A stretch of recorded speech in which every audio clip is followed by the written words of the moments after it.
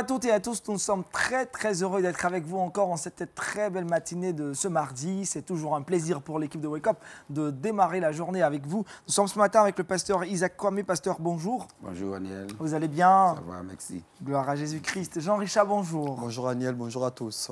Et puis vous savez, aujourd'hui c'est mardi, dans Bonne Santé, on parle des sujets qui vous intéressent, qui nous intéressent déjà à la base. Et avec le docteur Moquet, nous parlerons de diabète gestationnel. Docteur, c'est quoi le diabète gestationnel?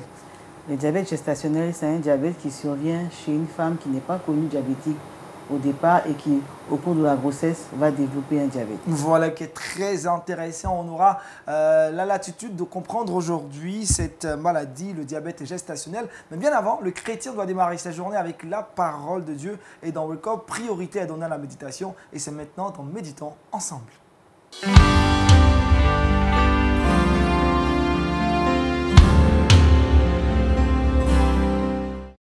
Avec le pasteur Isaac Kwame, ce matin, l'exhortation a pour thème Prenez garde que personne ne fasse de vous sa proie.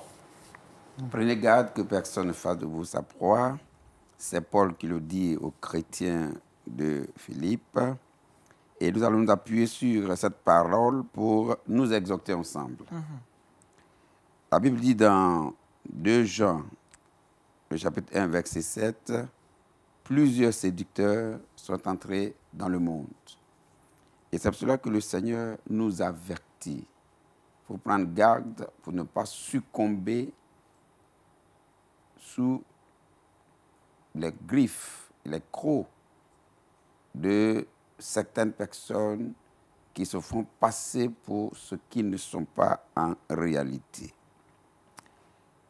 Nous avons aujourd'hui dans nos églises de véritables prédateurs qui sont déguisés en agneaux parmi nous. Des prédateurs qui sévissent dans le monde chrétien. Des prédateurs qui font mal parmi les chrétiens. Souvenez-vous que dans la parabole que Jésus a donnée par rapport à l'ivraie, l'ivraie a été semé un peu partout dans le champ de ce monsieur qui avait pourtant semé une bonne semence. Ainsi, ces prédateurs sont éparpillés un peu partout. Il faut toute la grâce de Dieu pour les déceler tout de suite. Ce n'est pas facile. Parce qu'ils ont des griffes, mais qui sont cachées par la Bible qu'ils tiennent dans leurs mains. Ils ont des crocs qui sont cachés par le nom de Jésus qu'ils ont dans la bouche, qui empêchent de voir qui ils sont en réalité. Et pourtant, ce sont de véritables prédateurs. Dans Actes chapitre 20, versets 28 à 29, Paul exhorte les chrétiens de les Colossiens, non, plutôt les Éphésiens, en disant, prenez donc garde à vous, les anciens d'Éphèse, prenez donc garde à vous et à tout le troupeau sur lequel le Saint-Esprit vous a établi évêque pour paître l'Église du Seigneur qui s'est acquise par son propre sang. L'avertissement est donné à tous les niveaux. Prenez garde. Veillez sur vous-même.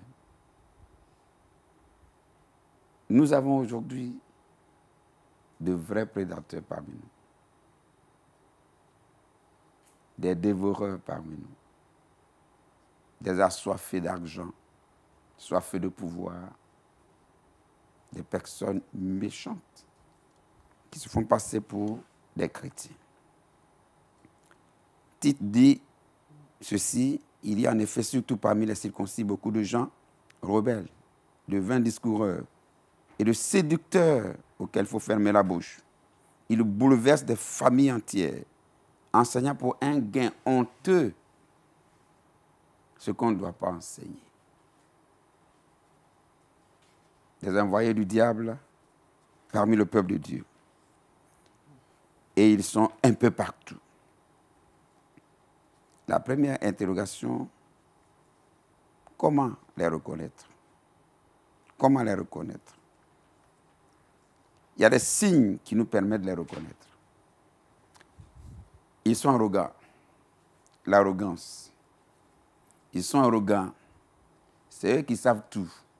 C'est eux qui sont parfaits. Les autres ne connaissent rien. Les autres n'ont rien fait. euh, non, non, non, c'est eux-mêmes qui commencent l'église. Et l'église va finir avec eux.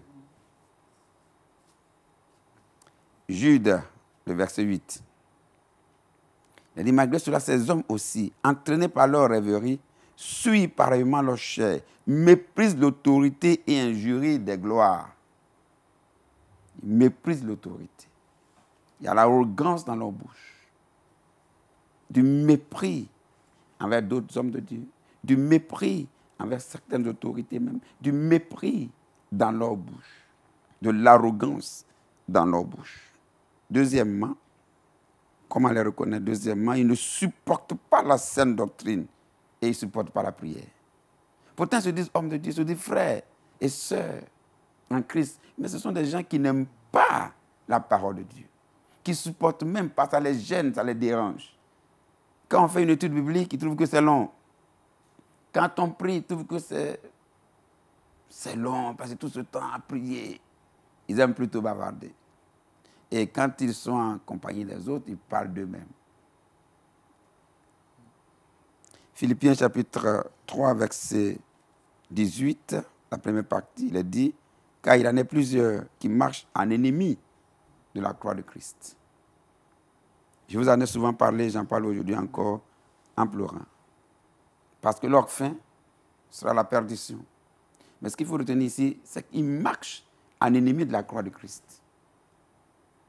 Oh, la Bible, là, c'est la croix. C'est le salut. Et donc, ils n'aiment pas la Bible, ils n'aiment pas la parole de Dieu. Ils n'aiment pas entendre même parler de, de, Jésus, de ses souffrances, de sa gloire, etc. Et pourtant, ils sont à l'église.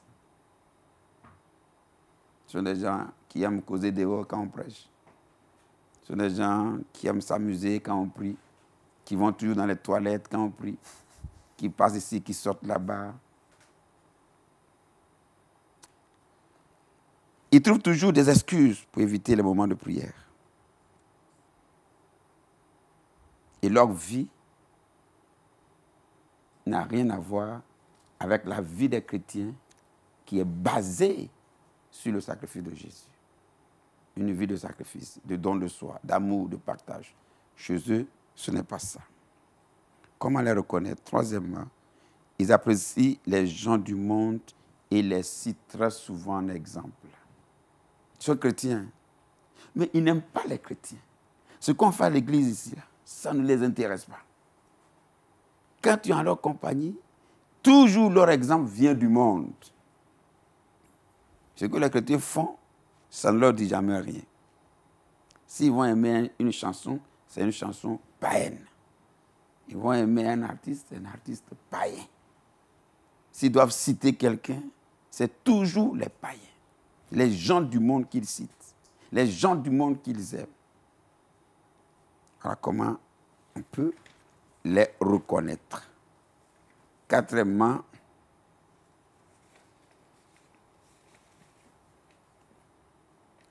ils sont en quête perpétuelle de profit. Ils sont en quête perpétuelle de profit dans l'Église.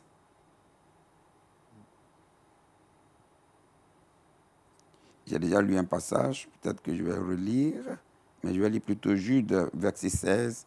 Il dit, ce sont des gens qui murmurent, qui se plaignent de leur sort, qui marchent selon leur convoitise, qui ont à la bouche des paroles hautaines et qui admirent les personnes par motif d'intérêt.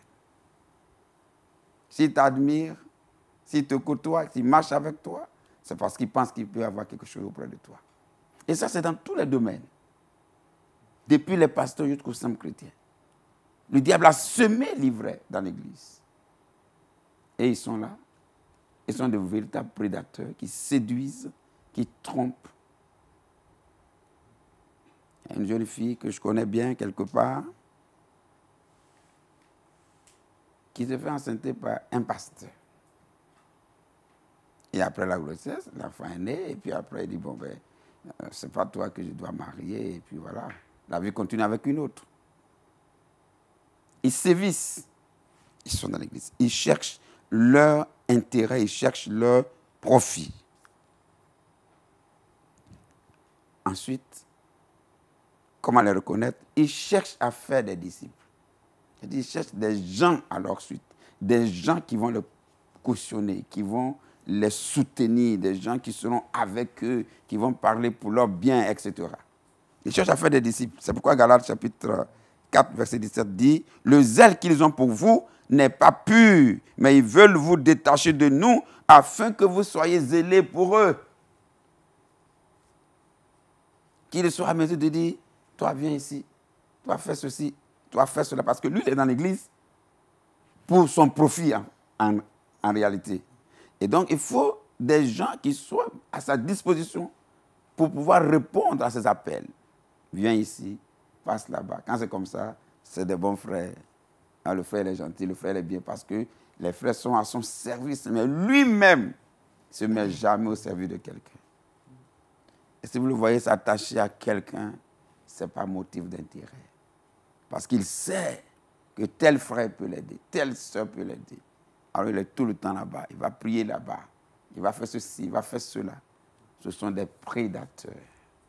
Et il y en a beaucoup qui sont dans nos assemblées. Le zèle qu'ils ont pour vous n'est pas propre, n'est pas pur, parce que leur objectif, c'est de vous détacher de nous pour que vous soyez zélés pour eux. Enfin, comment résister à ces gens? Comment arriver à résister à ces gens? D'abord, je souhaite et j'exhorte chacun de nous à entretenir une communion personnelle avec Dieu, à bâtir des convictions personnelles sur la parole de Dieu et ne pas se laisser entraîner par n'importe qui dans n'importe quoi. On est ensemble, on est dans l'église, c'est vrai, mais j'ai mes convictions. Et si ce que tu viens me proposer ne me, ne me sied pas, je dis non. Ne faut pas suivre les gens n'importe comment. Il y a des gens qui sont levés ici, qui sont fait passer pour des prophètes, qui ont vidé des comptes bancaires, des gens qui ont dépouillé des familles, qui ont créé la zizanie dans des familles et qui sont partis après. Il y en a même qui ont vendu des églises, des temples aux chrétiens, tout le monde. On les vend. Puis on s'en va. Parce que dans la réalité, c'est le, le profit qu'on cherche. Et c'est pourquoi le Seigneur dit, prenez garde que personne ne fasse de vous sa proie. Parce qu'il y en a qui sont là et qui sont des prédateurs et qui cherchent des proies faciles. Que personne ne fasse de vous sa proie dans tous les domaines. Que personne ne vous entraîne dans le décor. Que personne ne vous détruise. Veillez sur vous-même et prenez garde. Parce que tous ceux qui sont en Israël ne sont pas l'Israël. Et pour terminer, nous lisons Jude 21 pour dire qu'il faut se maintenir dans l'amour de Dieu. Ta force, mon frère et ma soeur, ta force, c'est ta communion avec ton Seigneur. C'est l'amour que tu as pour Dieu. Cela va te garder des erreurs. Cela va te garder des tromperies des hommes. Si tu es attaché au Seigneur, si tu aimes le Seigneur, le Seigneur te protégera. Il t'avertira. Il te parlera. Il te préviendra. Il dira non, fais attention à ce monsieur, fais attention à ce frère. J'étais quelque part, quelqu'un arrivé là-bas, très zélé, très très zélé, dans les années 93, pasteur quelque part. Il est arrivé très zélé même un beau frère qui est, qui est prêt à tout. Il est parmi nous avec joie. Puis c'est fiancé. Mais on avait des doutes parce que quand il vient d'arriver. Il n'a pas encore totalement fait une année avec nous. Déjà, il côtoie une soeur, il se fiance. Mais quand on veut marier une soeur, elle n'a pas souvent d'oreilles, elle n'entend rien. On, a, on essaie d'attirer son attention. Lui vient d'arriver, est-ce qu'on ne peut pas essayer de voir un peu Moi, c'est parti vite. On son accord. On était même en train de préparer mariage. Un jour, on a reçu une dame qui est arrivée. C'était une petite euh, euh, localité. Arrivée, arrivée chez le pasteur que je suis. Monsieur là, c'est mon mari. On est à Boaké ensemble avec les enfants là-bas. mon mari. Frère, il n'a plus de parole. Il n'a plus de parole. Bon, heureusement, la dame, elle est partie avec son mari. Et nous, ça nous a libérés. Ça a libéré la soeur aussi. J'étais dans une autre localité, vers la frontière, dans les années, je crois, 91 ou 90, comme pasteur. On a reçu un soir un frère qui nous a cité tout le nom des pasteurs à Abidjan ici. C'est un chrétien dans tel coin, pasteur comme ça. Nous, ça nous a déjà convaincus. On a reçu chez un frère, on lui a fait à manger bien. Il, dit, il, a dit, il disait qu'il travaillait sur la haute tension. Voilà, CIE sur la haute tension, il est venu en mission. On l'a reçu bien. Et tout, Pendant qu'il dormait, se reposait, quelqu'un vient nous dire, la police recherche un monsieur. Il se fait passer pour un haut cadre de la CIE. Et donc, comme les religieux sont gentils, donc on passe sur les religieux pour se, renseigner. Et le frère qui habitait à l'église, moi je ne dormais pas à l'église, il y a un frère qui habitait juste à côté du, du, temple. C'est chez lui, justement, qui dormait. Donc ils sont arrivés chez lui et ils l'ont interpellé. Il dit D'accord, d'accord, je vais voir le pasteur. Si le pasteur a reçu quelqu'un comme ça, il dit D'accord, va voir ton pasteur. Je lui dis Pasteur, voilà ce qu'on dit. Effectivement, le monsieur là, on l'a décrit, c'est lui. On fait comment? Il dit On ne peut pas le cacher. Il dit qu'il est, il est un frère. Il travaille à la CIE. Nous, on ne peut pas le cacher. On est parti. On dit Frère, sort. Il est sorti. Bon, tu travailles à la CIE. Où sont tes papiers? À ce moment, les policiers n'étaient pas là. Où sont tes papiers? Ils commençaient à nous baratiner, Et puis les policiers sont sortis. Quand la vu Les gens l'ont pris comme ça. Nous, on allait l'héberger. Qu'est-ce qu'il allait nous faire la nuit? Qu'est-ce qu'il allait faire aux frères la nuit? On est à un pas du Ghana, on est à la frontière même. La ville s'appelle Niablé, on est à la frontière. Qu'est-ce qu'il allait faire la nuit pour tomber au Ghana parti? On ne sait pas. Donc, prenons garde. Ne soyons pas aussi naïfs pour accepter tout, pour avaler tout, que le Seigneur nous soutienne. Amen. Et que nous bénisse. Amen. Amen. Merci encore au pasteur Isaac Kwame. Je rappelle l'exhortation, euh, le thème de l'exhortation. Prenez garde que personne ne fasse de vous sa proie. Jean-Richard Question. Euh, à écouter le pasteur, je me pose une question. Est-ce qu'il faut, au regard de ce témoignage-là, éviter toutes les personnes qui frapperaient à notre porte? Ou dans quelle disposition d'esprit les recevoir? Oui, effectivement, ce n'est pas facile. Parce qu'il faut manifester l'amour fraternel, l'hospitalité. Mais il faut aussi vérifier un peu. Il faut contrôler un peu. Il faut vérifier les choses. Comme je vous l'ai dit, j'ai été pasteur Niablé, j'étais très naïf. J'ai vu beaucoup de choses. Les gens sont venus prendre le peu d'argent qu'on avait parti. Parce qu'ils se faisaient passer pour des frères. Et quand on a vu qu'on était dépouillés, on a commencé maintenant à vérifier les choses quand même un peu, un peu. À vérifier les choses. On ne peut pas ajouter foi à tout esprit on manifeste l'amour fraternel. Nous prenons l'amour fraternel, mais quand même, il faut vérifier un peu. Parce que les gens qui abusent de notre amour fraternel, notre naïveté, pas naïveté, mais notre bonne volonté d'aider les gens. Il ne faut pas rejeter les gens du revers de la main. Il ne faut pas tout rejeter comme ça, mais il faut vérifier un peu au moins. on ne peut pas tout accepter aussi comme ça. Mhm. Voilà. Un peu de vérification. Alors, pasteur, que doit faire l'Église lorsqu'on démasque un frère ou un faux frère, je dirais faut-il l'expulser ou prier pour lui Prier pour lui.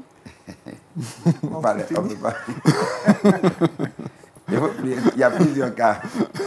Ça dépend. On a travaillé on, va, on, va étudier, on va étudier le cas par cas.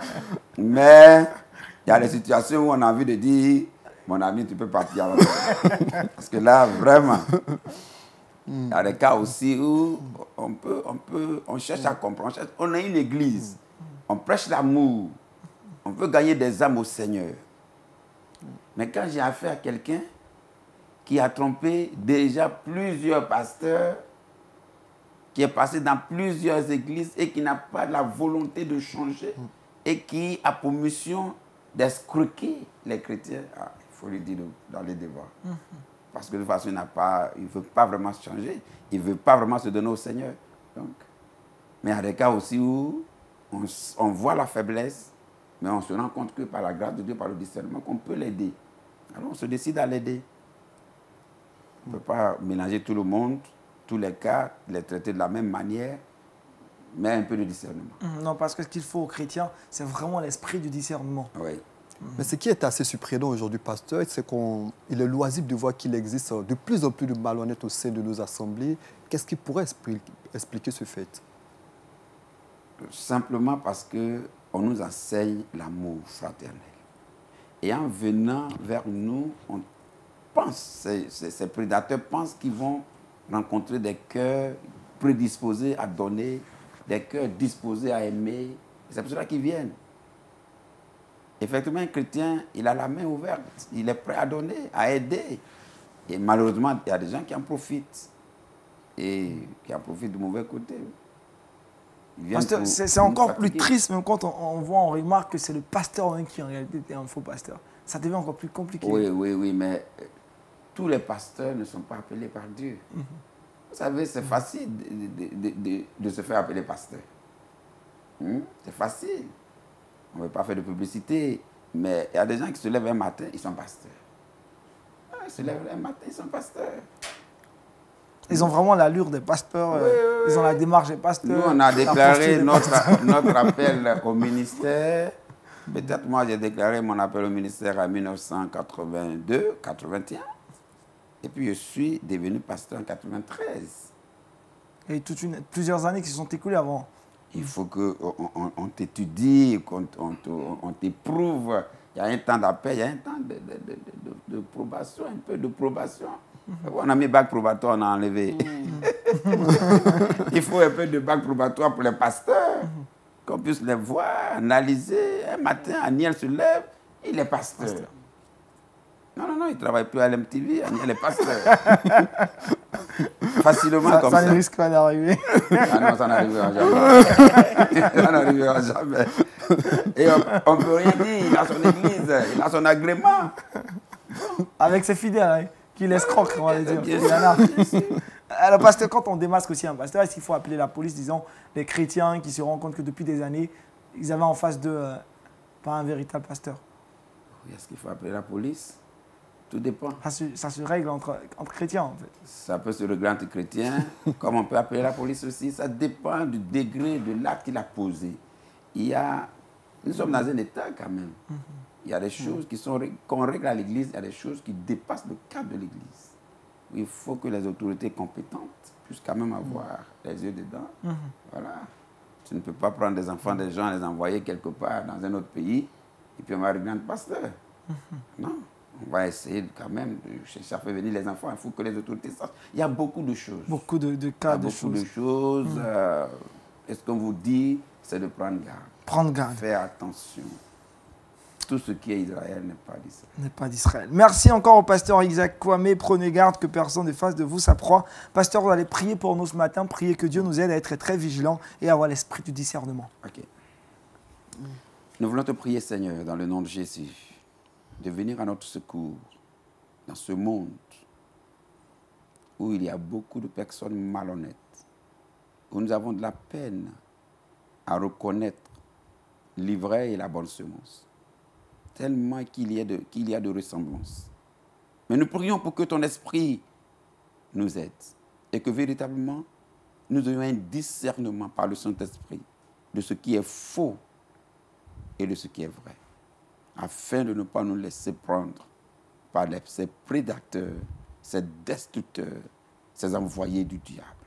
Que ta grâce soit sur ton Église et ton peuple, pour nous garder dans tes voies et nous permettre de nous aimer et de marcher dans la communion fraternelle, tout en évitant l'ivraie et les ouvriers qui sont envoyés par l'ennemi. Que ta grâce soit avec l'Église, que ton esprit nous éclaire et que ta paix soit avec nous au nom de Jésus. Amen.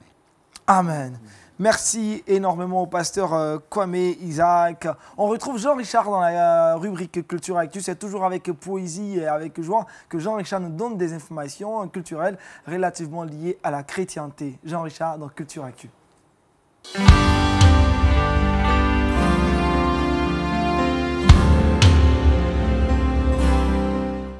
Jean-Richard, avec vous ce matin, nous parlons de foi et Hollywood.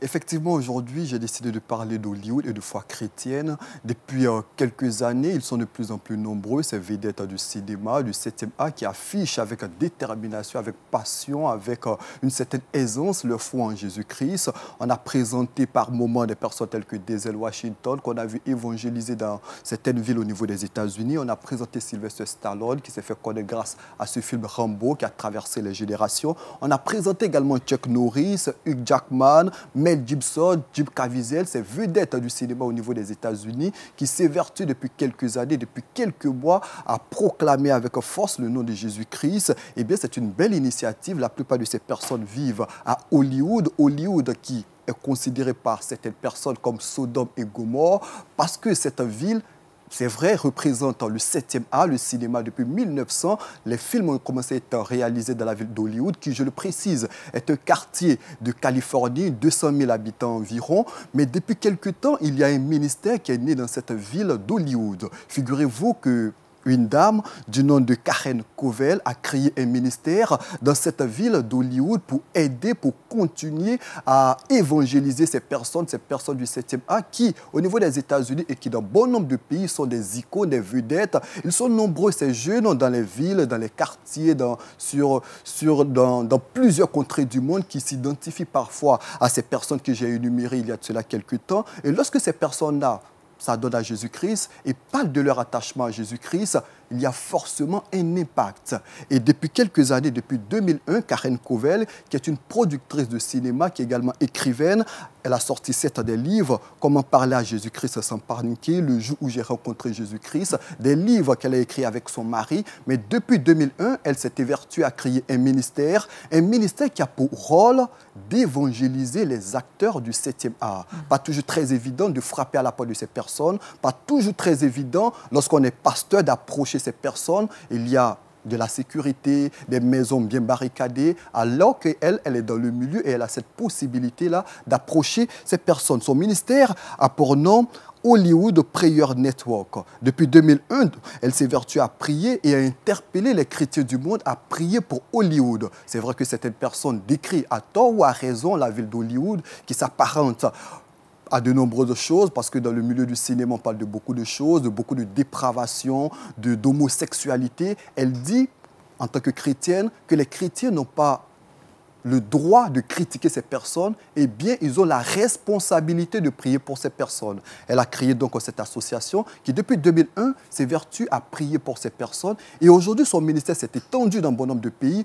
Plus de 30 pays aujourd'hui ses vertus, se reconnaît en ce ministère qui prie pour les acteurs d'Hollywood et elle a cette facilité-là puisqu'elle est productrice de uh-huh. cinéma, elle est actrice, elle est écrivaine, de rencontrer ces personnes et de parler de Jésus-Christ vers ces personnes. Et aujourd'hui, on le remarque, il y a beaucoup d'acteurs qui, petit à petit, se, donnent à Jésus-Christ. On voit qu'aujourd'hui, il y a beaucoup de maisons de production euh, de films chrétiens qui se créent. On a parlé de Fireflies, de Sherwood Picture.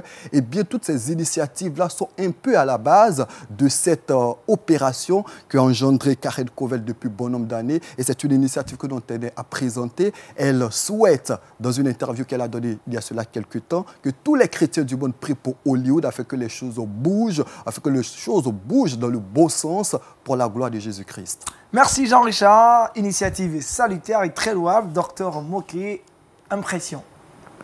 Oui, je pense que c'est une très très bonne initiative parce que comme il a dit tout à l'heure, on sait que c'est un milieu, il y a beaucoup de, mm. fausses valeurs qui se développent. Donc je pense que s'il y a un ministère qui est en charge de pouvoir annoncer Jésus-Christ là-bas, je pense qu'on a fait un pas en avant. C'est cela. Pasteur, vous n'allez pas forcément aller à Hollywood pour évangéliser. Désormais, la pauvre, quel est votre regard sur cet acte Et Je pense que c'est le Seigneur qui a appelé cette dame à cette mission. Il faut prier pour elle. Il faut la soutenir dans la prière parce que c'est une mission délicate mm-hmm. d'amener ces hommes-là, ces femmes, au Seigneur. Mais Dieu est tout-puissant. Tout-puissant. Dieu est tout-puissant pour faire l'œuvre avec elle. Mhm. Dieu l'a appelée. Je pense que Dieu fera le travail avec elle. Dieu fera le travail avec elle. Merci au pasteur et à Jean-Richard pour cette, ces informations de Hollywood et foi chrétienne. On retrouve le docteur Moquet cette fois-ci dans cette rubrique consacrée à la santé qu'on a nommée Bonne santé.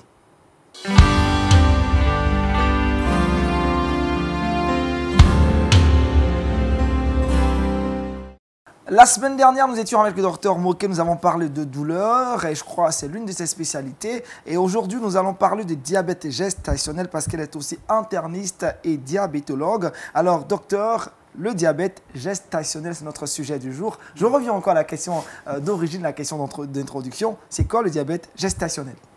Alors, comme je le disais tantôt, le diabète gestationnel, c'est une dame qui n'est pas connue diabétique, mhm. qui va tomber enceinte et qui, au cours de la grossesse, va développer un diabète. D'accord. Voilà. Quelles sont les causes ou la cause Alors, on va dire que l'état de grossesse, en fait, va favoriser certains euh, développements de l'hyperglycémie. Mhm. En fait, le fait qu'elle soit enceinte, les hormones placentaires, tout ça, vont entrer en interaction avec tout ce qui est hormones de régulation de la glycémie, si bien que le taux de sucre ne pourra plus être bien régulé, mhm. et donc ça va monter.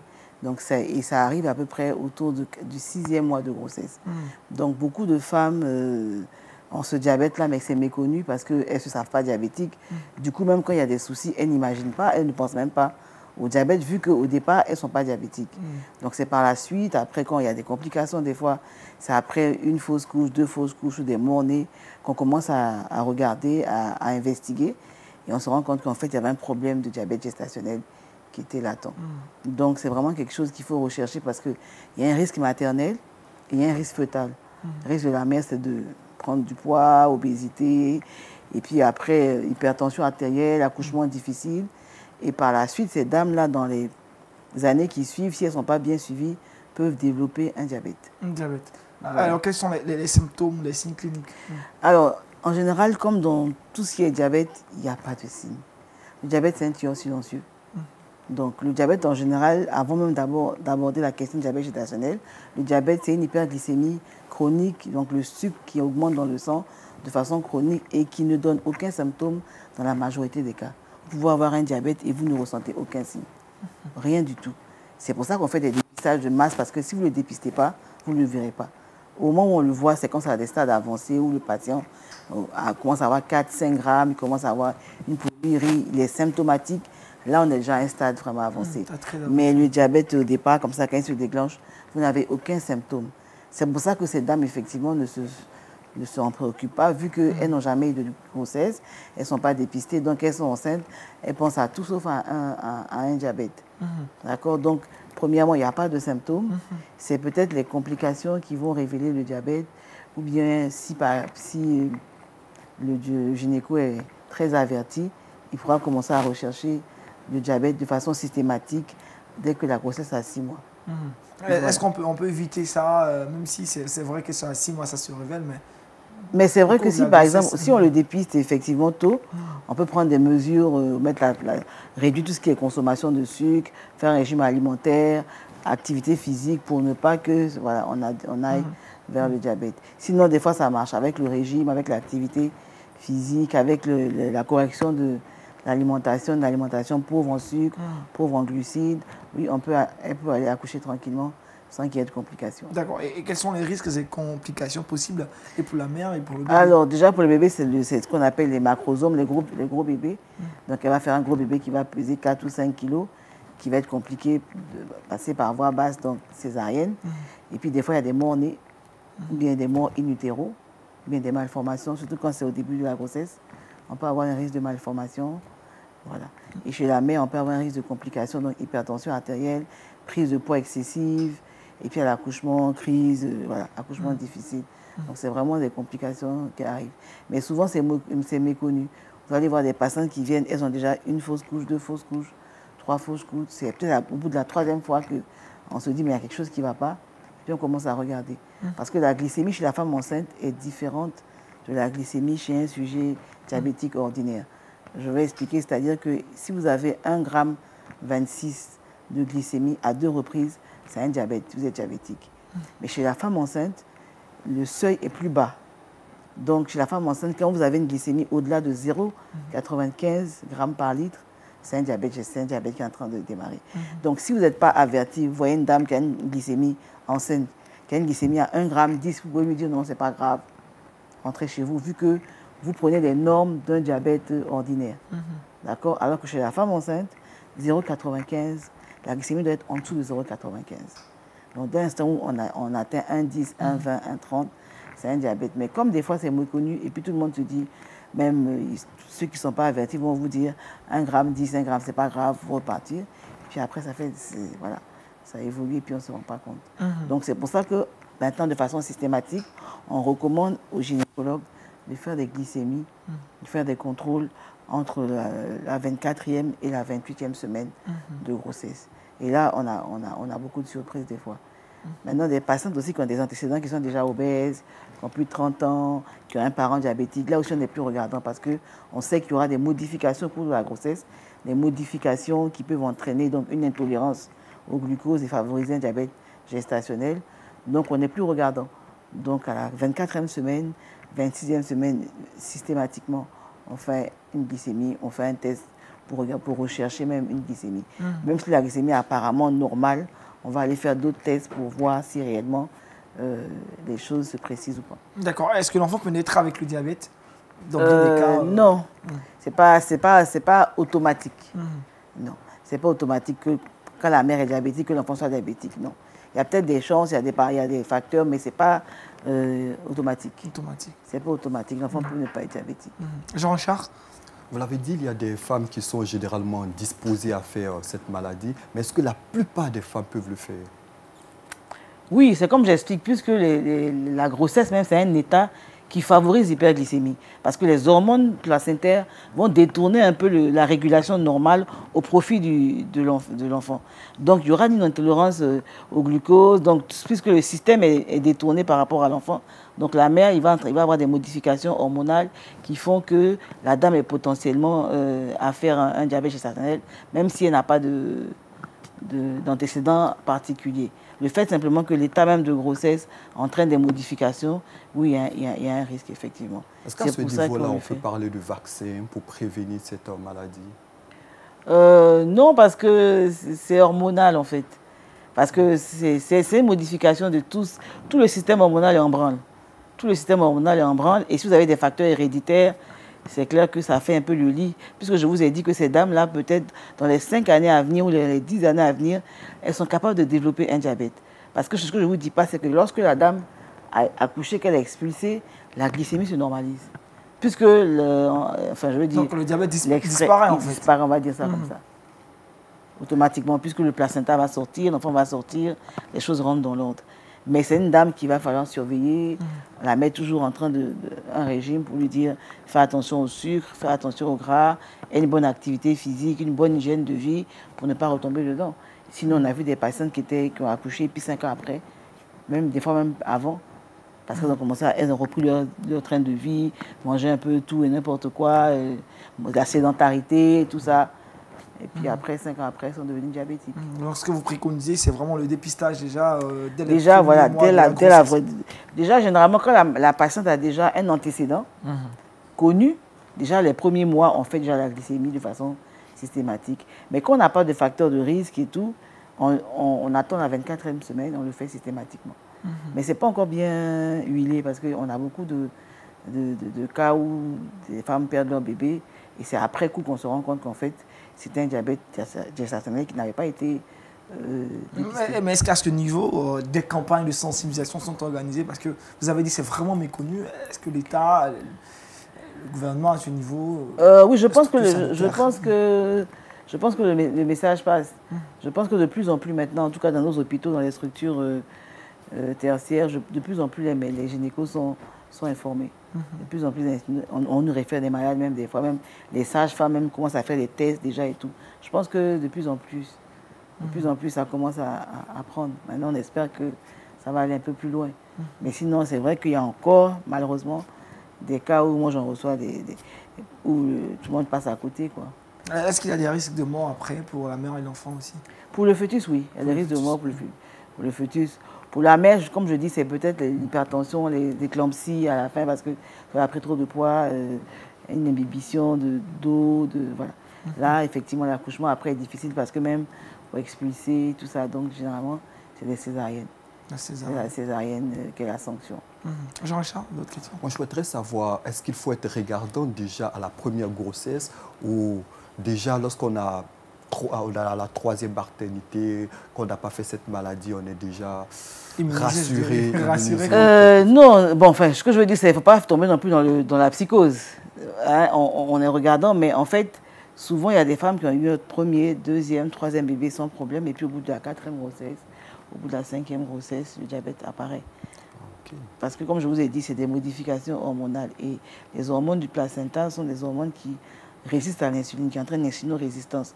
Donc, qui sont à même de pouvoir dérégler un peu le système. Et les hormones qui sont produites sont des hormones hyperglycémiantes, qui ont, tendance à faire monter la glycémie. Donc, c'est. Mais il y, a des femmes, par exemple, qui ont des facteurs de risque. Si vous avez un parent diabétique, c'est mieux d'être plus, plus regardant parce que, de toute façon, j'ai déjà une ascendance qui, est diabétique.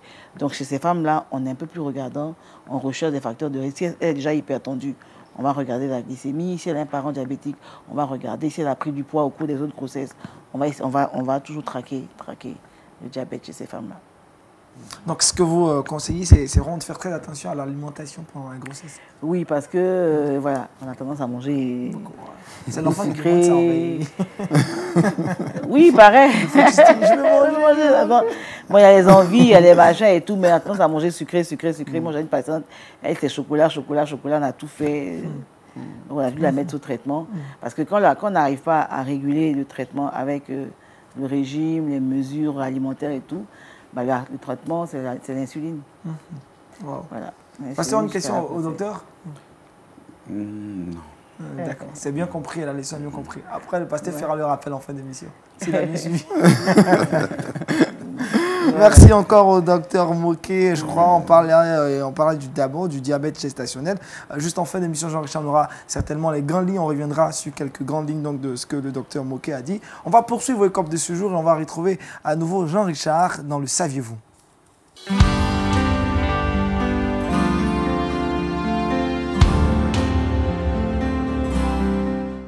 Jean-Richard, dans le saviez-vous aujourd'hui, euh, voyage encore avec vous, hein, sans passeport ni visa, on débarque dans quel pays avec nos valises? Merci Aniel. Aujourd'hui, on prend notre pied à terre dans la République de Cuba pour donner une information malheureusement assez douloureuse. Ce pays-là fait la une de l'actualité il y a cela quelques jours et pour cause, il y a eu un crash d'avion qui a décimé de nombreuses personnes, plus de 112 morts. Ce qu'on ne savait pas, c'est que 20 membres d'une église évangélique faisaient partie des victimes du crash de cet avion. Et parmi ces 20 morts, on retrouve dix pasteurs avec leur épouse qui étaient de retour d'une retraite spirituelle. C'est une information assez difficile qui a bouleversé euh, le corps de Christ au niveau de Cuba. Bon nombre de personnes étaient dans le désespoir, mais il y a le directeur euh, régional de l'Union des églises là-bas, Carlos Sainz, qui a interpellé tout le corps de Christ afin que tout le monde puisse porter ces différentes familles-là qui sont actuellement dans la souffrance en prière. Vraiment, c'est l'appel à la prière, pasteur. De telles nouvelles nous attristent. C'est triste, c'est triste, c'est douloureux. C'est douloureux. Mais les voies de Dieu sont insondables. Mm-hmm. Avec Dieu, quelquefois dans la bouche fermée, on ne sait pas quoi dire. Mm-hmm. Pourquoi, après un moment de prière, toute cette famille pastorale, vraiment, et c'est le lieu pour le pasteur de, revenir sur le thème de ce jour. Prenez garde que personne ne fasse de vous sa proie. Pasteur rappelle encore des points forts, des lignes assez intéressantes à retenir de ce message. Oui, prenez garde que personne ne fasse de vous sa proie. Les prédateurs sont là. Ils euh, sont un peu partout dans l'Église, dans tous les grands domaines de l'Église. Pasteurs, anciens, choristes, euh, chantres, partout ils sont là. Mhm. Et on peut les reconnaître. On peut les reconnaître parce qu'ils ne supportent pas trop longtemps la présence de Dieu, ils ne supportent pas la parole du Seigneur. Ils recherchent leur profit, ils veulent faire des disciples, euh, etc. Et il faut que Dieu nous aide à veiller sur nous-mêmes. C'est vrai. À veiller sur nous-mêmes. Et aussi, quand nous savons quelque chose, à avertir les autres. Il mhm.